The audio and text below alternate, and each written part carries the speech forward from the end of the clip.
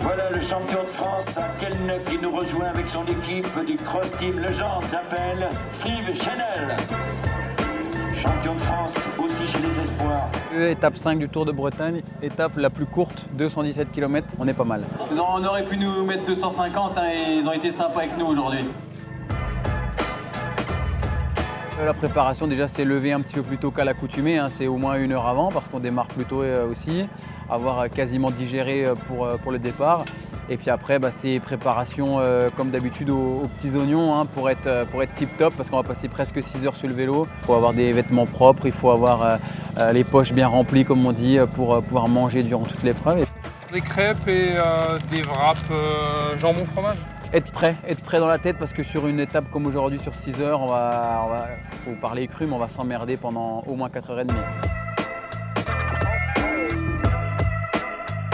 On va avec l'étape les gars.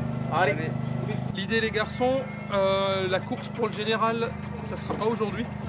le briefing il est toujours là pour faire un petit point sur la veille et ensuite pour euh, motiver les troupes et puis vraiment expliquer comment va être le parcours. C'est dans la forêt, j'ai regardé.